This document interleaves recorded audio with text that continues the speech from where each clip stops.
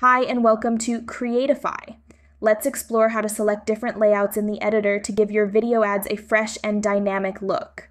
Creatify offers 14 visual styles, including full screen, top and bottom, side by side, and Twitter frame styles to target different platforms and audiences. Browse through the options and select the one that best fits your content. Once you've chosen a layout, you can either hit render or further customize it in the editor. If the visual style isn't quite right, you can choose another under the avatar tab in the left hand menu where you'll find layout, or simply exit the editor and choose another visual style. Move, resize, and edit text, images, and other components to make it perfect for your video. Using different layouts, you can create visually appealing and engaging video ads. Creatify provides the tools to make your videos unique and professional. Visit Creatify AI to get started.